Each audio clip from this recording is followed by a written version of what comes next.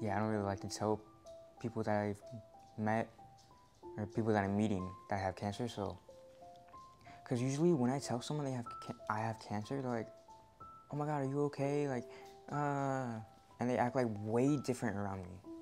Like, I don't like that. So I just never tell them.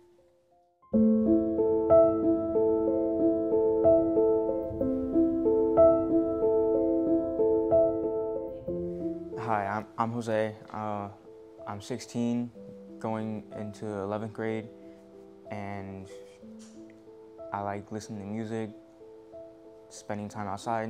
I want to be a chef, having my own cafe. The food I'm gonna make probably like Hispanic dishes that they taught me, and then maybe some fusion recipes too.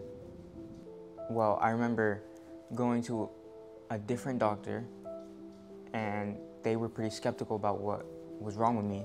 So they told me that we should go to CHKD, see if they can figure it out. Then we went into an office, had my brain scanned and everything, and Dr. Delestro. Delestro, uh, yeah, he told us that I had cancer. How old are you? I was seven. I just remember going to a room, then they put a needle in my arm and then told me you're gonna be doing this a lot, so pre- prepare yourself. I didn't know what that meant at the time. Then they just took me for an MRI again, and then I woke up and that was my first surgery. I remember meeting a bunch of different kids. remember having to go to different hospital rooms and everything. Then having to do all these other surgeries and stuff like that. My life didn't really change after I was diagnosed, besides realizing that my arm is pretty much not gonna be good and stuff. I didn't really care about the tumor in my head because I was a kid at the time and I just didn't think it was much. I still had school, but my teachers, they sent the work home for us instead of me going in while I'm still going through treatment and recovering.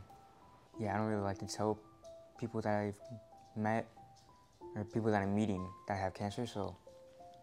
Because usually when I tell someone they have ca- I have cancer, they're like, oh my God, are you okay? Like, uh, and they act like way different around me. Like, I don't like that. So I just never tell them.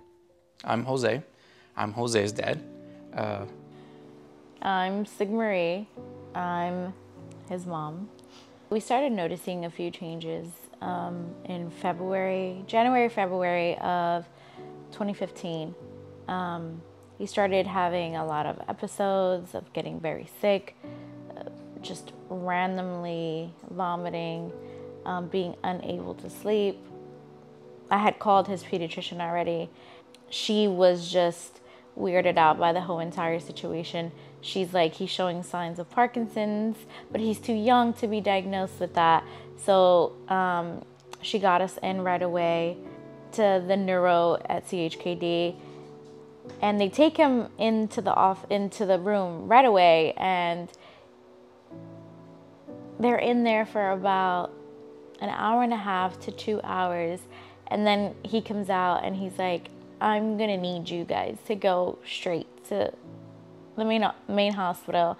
Um, I already called. They're gonna be waiting. They're gonna do a CAT scan. I remember going in. They come out like not even what 15 minutes later. They come get us. Dr. Delastro takes us into a little private corner, and the one thing I can say is everything was just static sounds. I just heard. Sorry. I just heard inoperable brain tumor. Wah, wah, wah. And he's like, What do you mean inoperable? He's asking questions, and I'm just like, I know exactly what he's talking about. I, I literally, like, this was my greatest fear. After his biopsy, and um, after they put in his shunt and drained, tried to drain the tumor, um, he couldn't walk. He couldn't do a lot of things, so he was in the PICU for four weeks. We met Mr. Brian there. He was the child life specialist. he came with Dr. Lowe into the room and he told us Jose was diagnosed with, with a pleomorphic xanthoastrocytoma and it's inoperable. There's not much they can do. Um, usually, his tumor is either in the front or the back, can be dissected, removed, and off we go. Unfortunately, my beautiful child had to be unique and have it uh, adhere to his thalamus, which is very dangerous. He'll, he'll never be in remission, so he was off treatment for about a year and a half.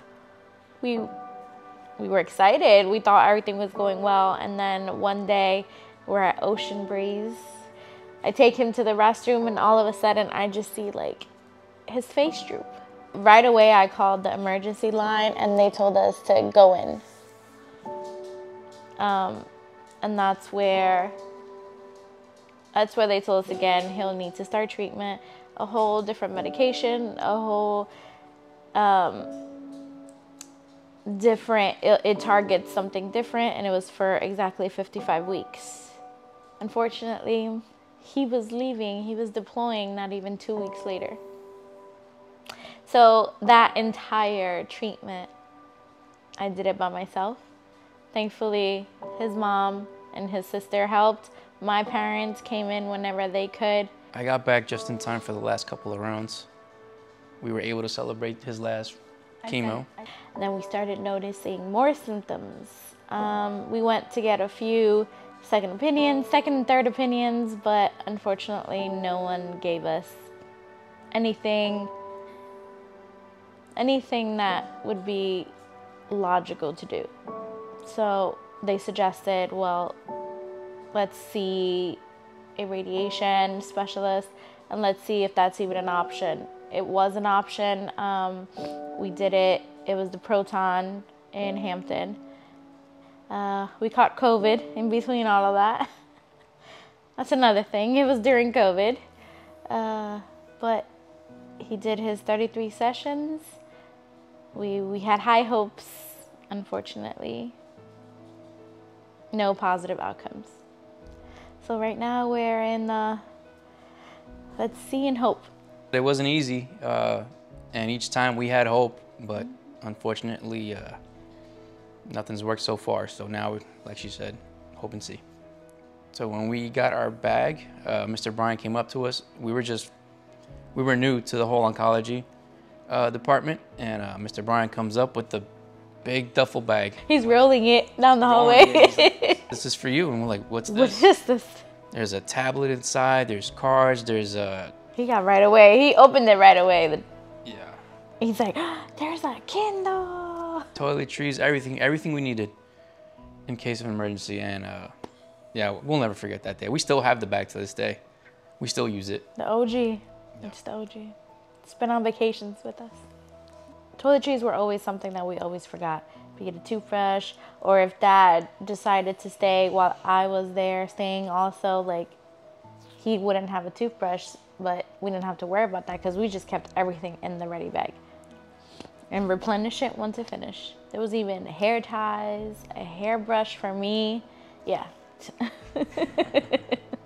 he actually got in the day before the playset was to be installed. It was like, it was kind of daunting to me that people would actually be that kind you guys were the first charity, like the first organization that ever helped us. So it showed us that people actually care. Mm-hmm. People coming together to help us out. It was a beautiful thing. It was a beautiful moment. Yeah. One thing that people may not understand while fighting pediatric cancer, uh, like I mentioned earlier, some people have that misconception that it's just one chemotherapy and it's always the same result. The child will lose all his hair, pale skin. You know, the typical thing you may see on TV. It's not always the case. Uh, each child reacts differently because you know there's so many different medications out there. So um, I always tell people maybe educate yourself a little bit mm-hmm. or ask the question. And be very cautious of the words you use. Um, we were approached a few times and said, oh, he doesn't look like a cancer child. That is the most heartbreaking comment to ever make to a parent who is already struggling.